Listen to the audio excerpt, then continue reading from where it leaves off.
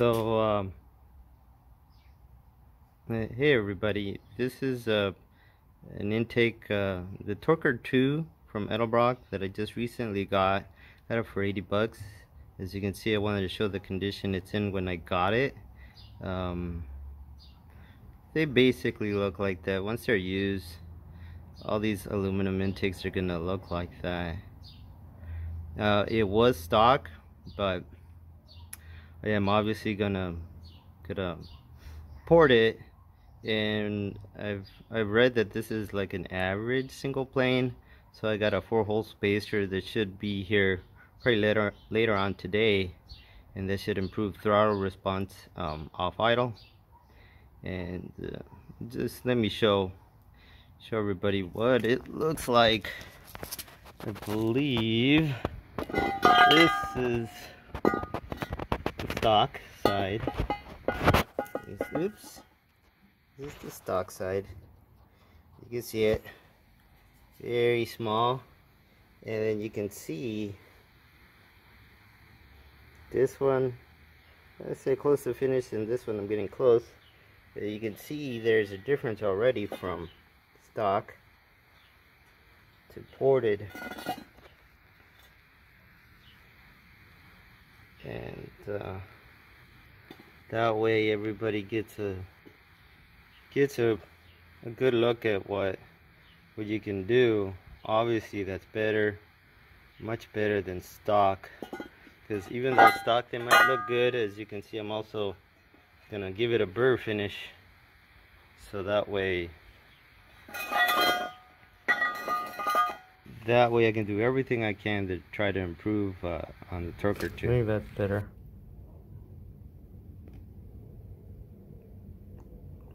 Give you an idea what ported and stock look lot, it looks like. There's stock and there's, yeah, I would say maybe gasket match, port matched.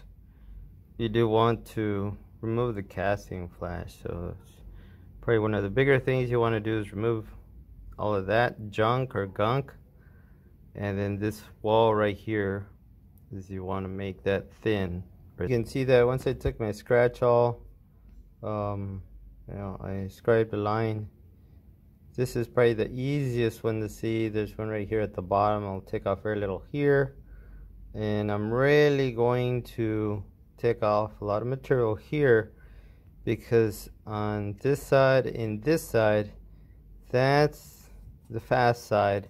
So that's what feeds into the cylinder wall side on the heads.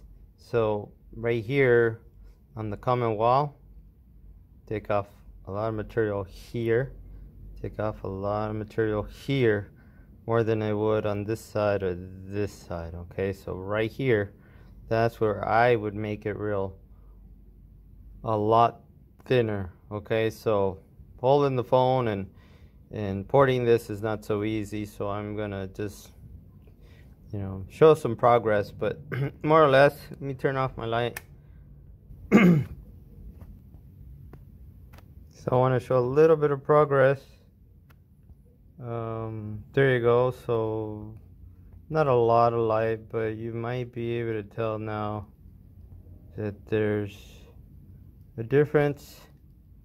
Um, and I forgot to show this but you see you could take a, a snap gauge and use a snap gauge to to gauge your progress right so you can use snap gauge especially for your do-it-yourself uh, type like myself you don't have a flow bench but you still want to improve upon what Edelbrock or Weiand or I don't know, uh, Holley or whoever else, AFR, what they did uh, with production. So uh, I'm still going to make this thinner. You see that I'm working on this common wall here. I'm working on this common wall here because again, this is where the high flow side uh, is on the heads.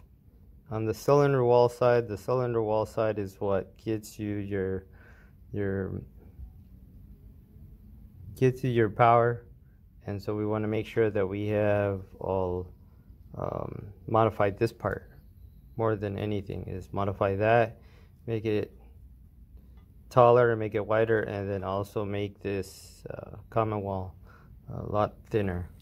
So uh, there you go. So basically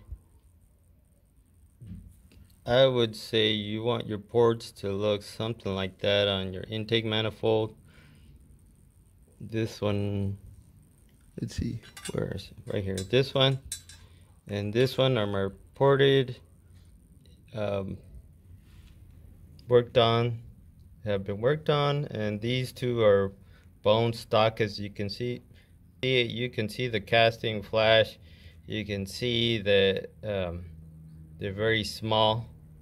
And over here you can see that I've been working on these. I'd say they're real close. 90 95% done. And then again I, like snap gauges especially since I don't have a flow bench. I think there's one other person on YouTube that doesn't have a flow bench but he gets awesome results so you can too. One of the ways I do it is um, the snap gauges. Another way to measure your ports measure let's say a bowl um, on a cylinder head. As you can see uh, pretty close to about the same size leave a little bit more work on this one but uh, I'll give you the measurement on this uh, for the snap gauge is 1.125 inches and so that's what I'll do with all the ports on this Torker too. and that way you know I improve upon what Edelbrock did and so that way you you know you can have go from this to this. And it should result in in the power increase. All right. Thank you for watching. Hit subscribe hit that like hit the notification button